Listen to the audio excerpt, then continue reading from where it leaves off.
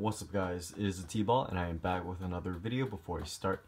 If you guys hit that like button and subscribe for more NBA, Brooklyn Nets, and Jeremy Lin videos, your support is greatly appreciated as we are trying to hit 1,000 subscribers by the end of this year.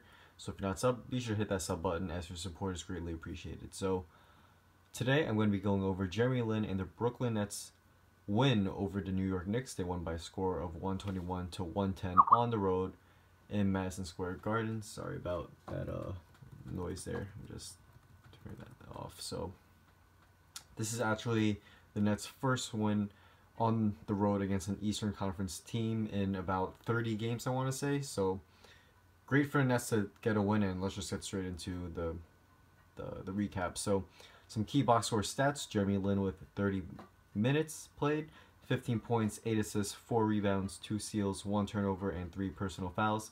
He had a plus minus of plus 14. He shot 5 of 16 from the field, 2 of 9 from three point range, and 3 of 3 from the free throw line. Brook Lopez with 24 points, 6 rebounds, and 3 assists. Caris LeVert with 13 points and 7 rebounds. Rondae Hollis Jefferson with 20 points, 10 rebounds, and 1 block. For the New York Knicks, 17 points on 6 of 18 shooting from the field and 0 6 shooting from three point range for Carmelo Anthony. 22 points and 2 assists for Derrick Rose, and Kyle O'Quinn off the bench with 23 points, 8 rebounds, and 3 assists. So I'm just going to be doing a quick recap right now as I have a lot of work to do, but I st still wanted to get a quick video up, so sorry this is going to be a, a little bit of a shorter video. But the Nets and the Knicks in the first half played very little defense, and the Nets were ice cold from three. They only hit about two three pointers in the first half, if I'm not mistaken, and the starters actually didn't hit any threes. So the, two threes were from the bench, surprisingly. They were down seven at the end of the first half, and in the third quarter, they caught fire behind Jeremy Lin. He hit two threes. Lopez hit one, Randy Foye hit one, and um, who am I missing? I think Caris LeVert hit one as well. So um, it was great for the for the Nets to catch fire in the third, as they eventually took. Um, I want to say it was a two or three point lead at the end of the third quarter, and in the fourth quarter, um, the Nets bench actually extended the lead. They held on to the lead, which um, is something the Nets bench has struggled to do in many of the games this season. And once the starters came back in, they just uh, held on to the lead for the easy win. So for Jeremy Lin, um, he had a good game tonight. He was ice cold in the first half and the fourth and in the fourth quarter, but the game was basically over by the fourth quarter. So um, the fourth quarter, his uh, cold shooting didn't really matter too much. Um, he also had eight assists, only one turnover, which is great. Um, a good assist to turnover ratio, if you guys don't know, is three to one. I'd say so. Eight to one is fantastic.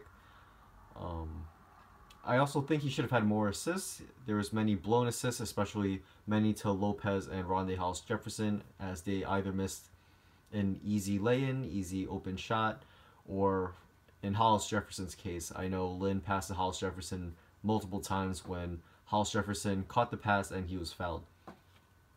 Also, I want to say the scorekeepers did not give Lin at least four assists that I personally counted.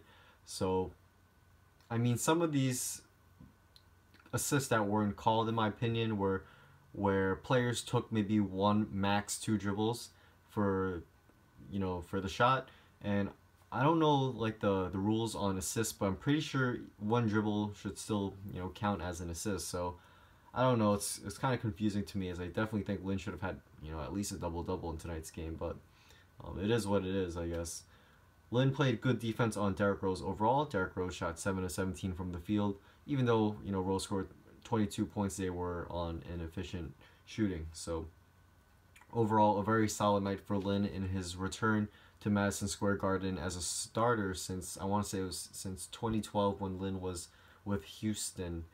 Um, yeah, so that's about it, actually. So, thanks for watching this quick video. I know it's much shorter than usual, but tomorrow once the Nets play against the Celtics Friday, I will definitely make a much longer video, more in depth. But tomorrow I have you know a bunch of uh, tests and I have some schoolwork I have to finish up. So that's about it. Thanks for watching. Hope you guys did enjoy this video. If you guys did, be sure to leave a like and subscribe for more NBA, Brooklyn Nets, and Jeremy Lin videos. And I will see you guys for tomorrow's game against the Celtics. So once again, thanks for watching, and I will see you guys soon. Peace.